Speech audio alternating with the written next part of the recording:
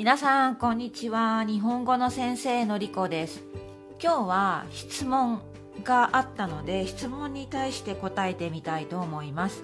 一つ目はおそらくと多分の違いがありますか？ということでした。あんまり違いはないと思っています。例えば、まあ、おそらく多分っていうのはあることに対して自分の水量を表すんですね。多分雨だろう。おそらく雨だろう、ね、明日のことです。明日の天気について自分で考えて話している。確実じゃない。わからない。でも多分雨だろう。おそらく雨だろう。ほとんど違いがないと思います。サッカーのワールドカップで自分の水量を話します。多分ブラジルが優勝するだろう。おそらくブラジルが優勝するだろう。同じような意味です。ただ多分の方が普通の会話でよく使われる砕けた言い方だと思います。えおそらくはちょっと硬いですね。硬、うん、い印象を受けます。ですから辞書によると多分の方が口語的砕けた言い方と書いてあります。おそらくっていう漢字は怖いという漢字を使うんですね。怖いという漢字でおそらく。ですからおそらくにはちょっと違ったニュアンスも出てくることがあると辞書には書いています。何かを推量するときに悪いこと悪い可能性が高いと推量する気持ちを表したい時にはおそらくを使う方が多いと書いてありました。例えばおそらく後悔するだろう、ね、後悔する、ね、きっと何か起きてああやらなきゃよかったしまったという後悔の気持ちが生まれるだろう。おそらく後悔するだろう。この場合にはおそらくを使う方がいいんじゃないかというふうに書いてあります。はい、ただほとんど違いはないです。大きな違いは多分の方が口語的砕けた話し方会話普段の会話でよく使うと覚えておきましょうえ次の質問は最後と最終の違い。最後と最終の違いは何ですか？えこれはよく似ています。でも違うと思います。はい、えー、うまく説明できるかな？例えば何かシリーズで続いていることがある。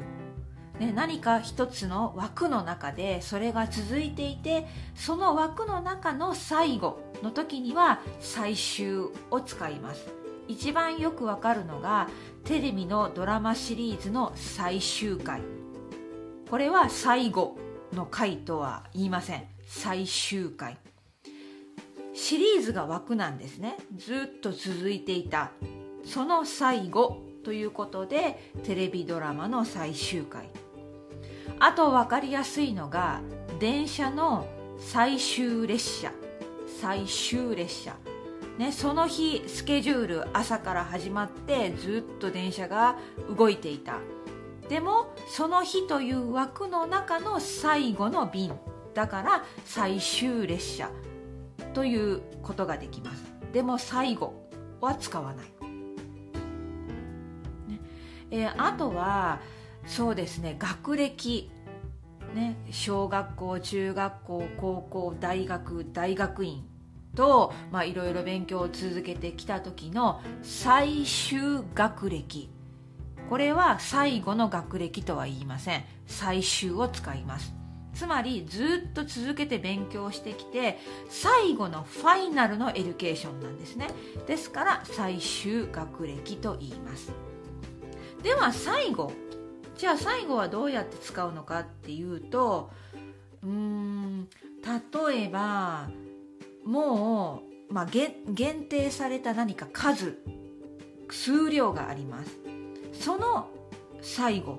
そしてそれが終わればもう未来にそれを持つことができないという感じでしょうか。